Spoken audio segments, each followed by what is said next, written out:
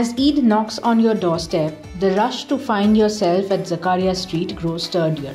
With the hunt to discover the best culinary gems of the place, Indulge too went over to Zakaria Street. Come join us at Iftari with Indulge.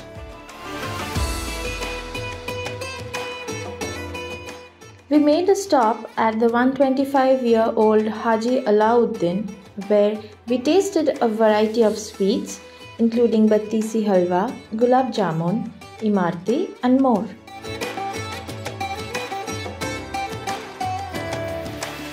Next, we headed towards Nawaz Hotel to try their suta, dahi, and kiri kebabs.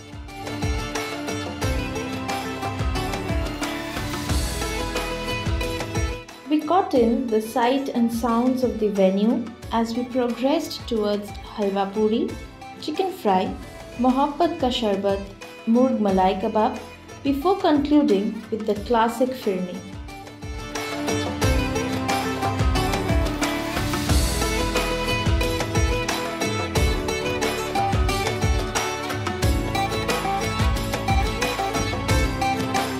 The lit up Nakhoda Masjid kept us company throughout, along with the aromas of halim, naan, biryani, and more.